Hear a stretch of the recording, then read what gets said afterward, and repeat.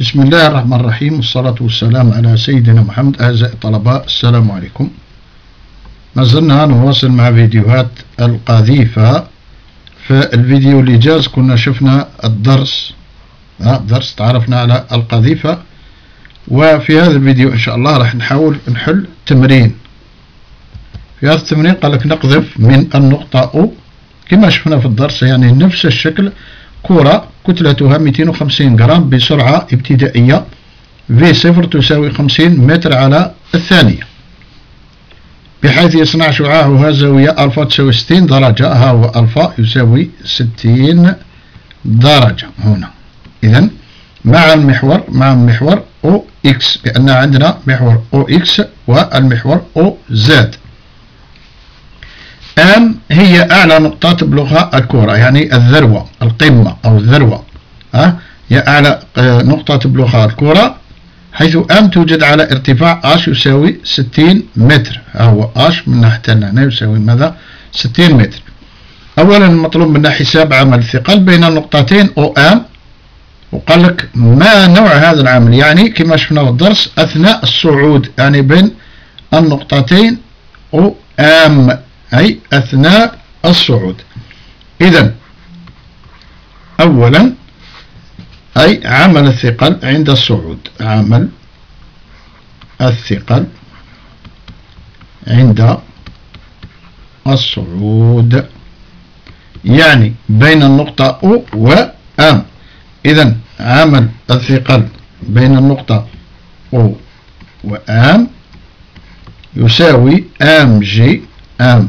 G في ZO ناقص ZM ZO ناقص ZM إذا وهنا لاحظ ZO ناقص ZM ها؟ يعني ZM كما قلنا ها هو ZM إذا ZM أكبر من ZO ها؟ ها هو ZO أو Z صفر. كما تحب سميه لأنه هو هو المبدأ.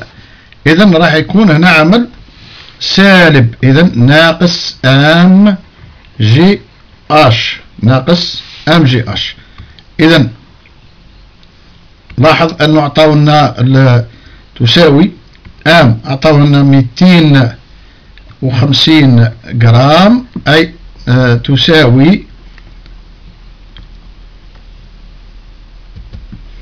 الميتين وخمسين. مضروبة في عشرة قوة. ناقص ثلاثة. إذا تساوي صفر فاصل خمسة وعشرون كيلو جرام أنا حولناها. إذا تساوي صفر أي ناقص الناقص هذاك صفر فاصل خمسة وعشرون في G G ندوها عشرة.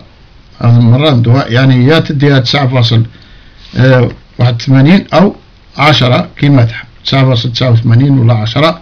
مهم في الفرض ولا اختبار ما يمدوها لك شيء إذا في عشرة في اش في اش اللي هو ستين ها ستين متر في ستين متر. لاحظ أن الكتلة بالكيلوغرام والارتفاع يكون بماذا؟ بالمتر. إذا شحال تساوي؟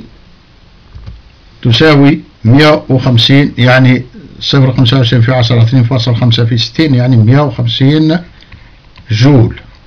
هاي. إذا نلاحظ ناقص عفوا ناقص لاحظوا أن هذا العامل صبناه بإشارة نقص. إذا هذا العامل هو مقاوم. إذا هذا العامل مقاوم. ثانيا قالوا لنا ما نوع الحركة على المحورين أو إكس وأو زد يعني ما نوع الحركة على المحورين أو إكس وأو زد لاحظ معي. جيبوا الشكل هنا. هكذا. نقدر نخدم به. انتبه. اذا ثانيا أي طبيعة الحركة. لاحظ.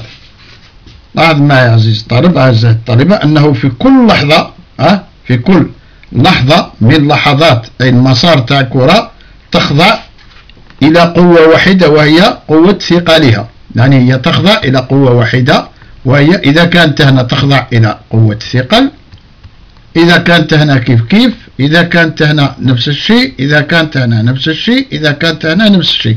يعني لاحظ أنه الكرة في مسارها سواء أثناء الصعود أو أثناء النزول تخضع لقوة واحدة. قلنا هي قوة الثقل قوة الثقل أو قوة جذب الأرض للكرة حيث أن هذه قوة الثقل بالنسبة للمحورين تكون كالتالي أي P لإكس بالنسبة للمحور أو إكس تكون تساوي الصفر وبالنسبة لمحور OZ تكون تساوي ناقص ام جي اش تكون تساوي ناقص ام جي اش إذا العمل بين النقطة O و M أي عمل الثقل يساوي عمل الثقل أي PX عن المحور OX زائد عمل الثقل على المحور آه عفوا زاد.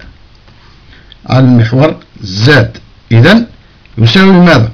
عمل قلنا عمل الثقل على المحور OX يساوي الصفر وناقص ام جي اش اللي هو عمل الثقل على المحور زاد إذا كما نلاحظ أن طبيعة الحركة أي العمل على المحور زاد أو زاد تكون عمل مقاوم يكون عمل مقاوم. أما كما نلاحظ أن الثقل هنا لاحظ تساوي الصفر إذا الثقل لا يقوم بأي عمل على المحور X.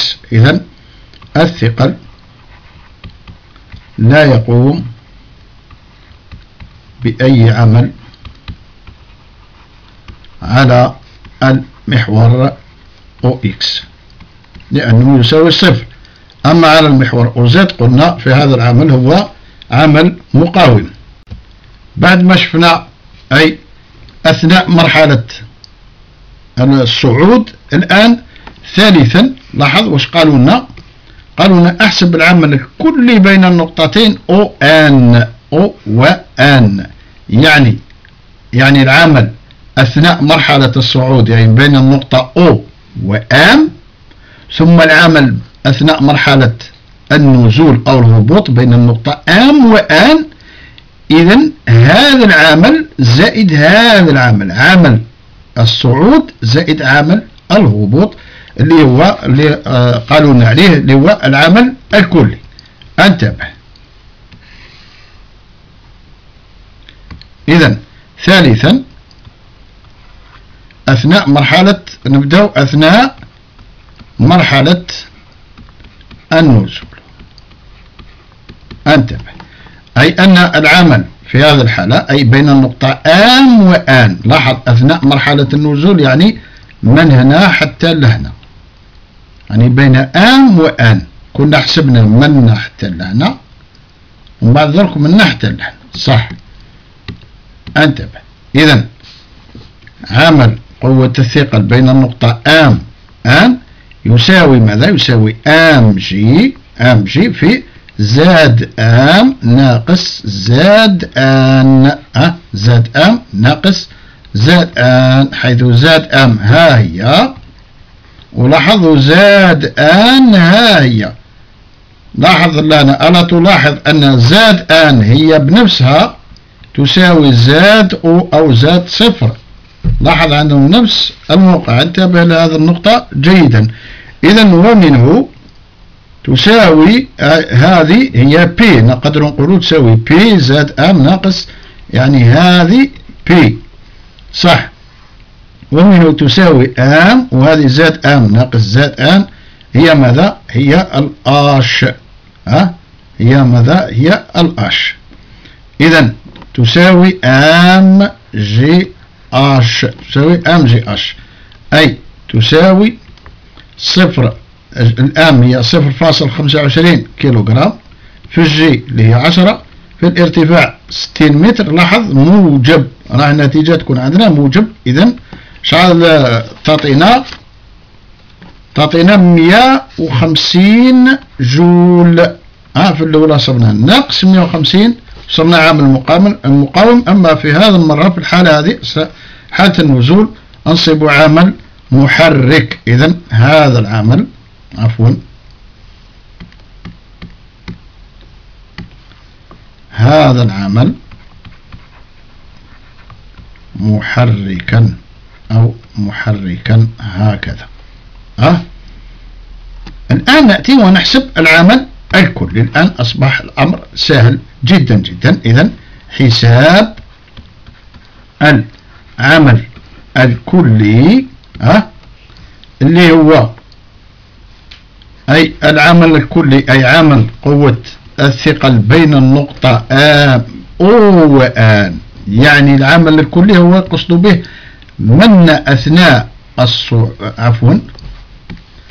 أثناء الصعود ثم أثناء النزول. هذا هو قصد بالعمل الكلي في السؤال تاعنا إذا يساوي العمل أي عمل بين النقطة أو وآم زائد العمل بين النقطة آم وآن ها يعمل الثقل. القوة الوحيدة اللي راهي في الحسابات تاعنا هي قوة الثقل. إذا يساوي ماذا؟ يساوي ناقص 150 وزائد 150 إذا نجد الصفر. ماذا نجد؟ نجد الصفر.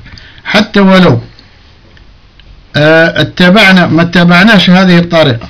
لاحظ أعزائي الطلبة لاحظ أنه لو حسبنا العمل بطريقة أخرى أي أن P هكذا يساوي ماذا؟ يساوي بي أو ام جي مضروبة في زاد صفر ناقص زاد ان مضروبة في زاد أو ناقص زاد ان واش تساوي؟ تساوي الصفر زاد أو زاد ناقص زاد ان تساوي الصفر.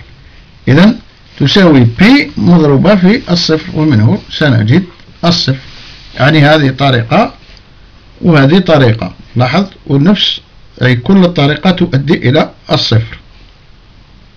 أعزائي الطلبة إلى أن ألقاكم بإذن الله في فيديو آخر أترككم في رعاية الله وحفظه. والسلام عليكم ورحمة الله تعالى وبركاته.